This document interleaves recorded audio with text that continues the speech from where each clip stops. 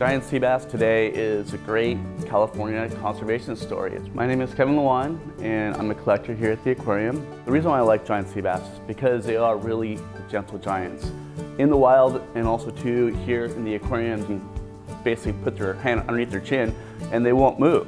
The problem with that is they can be speared because they're just sitting there and they're a big fish so you can annihilate the entire population. The laws that were enacted one was in 82, which banned sport and commercial. And then in 1994, they also banned gill netting. So you want to know if those laws are helping the species. So the big thing that we're trying to do really is to have a full life history of this fish. Our largest giant sea bass that we have came in in 1994. It's 220 pounds.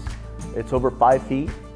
And we estimate the age, give or take, around 30 years old. We do have a, a baby giant sea bass here and we got that probably a little more than a month old.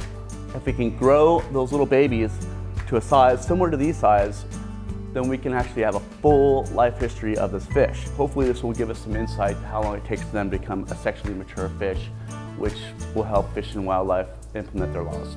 I work at the aquarium because I believe in the conservation stories of the fisheries.